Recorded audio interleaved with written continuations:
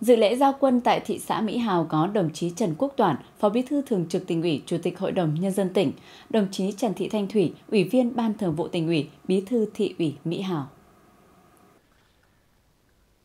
Năm 2022, thị xã Mỹ Hào được tuyển gọi 180 thanh niên lên đường làm nhiệm vụ, được giao cho các đầu mối nhận quân là quân khu 3, quân đoàn 2, Bộ Tổng Tham mưu,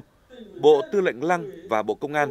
nhờ làm tốt quy trình tuyển chọn ngay từ bước đầu nên đảm bảo 100% thanh niên giao cho các đơn vị đều đảm bảo chất lượng, trong đó có 6 thanh niên viết đơn tình nguyện nhập ngũ.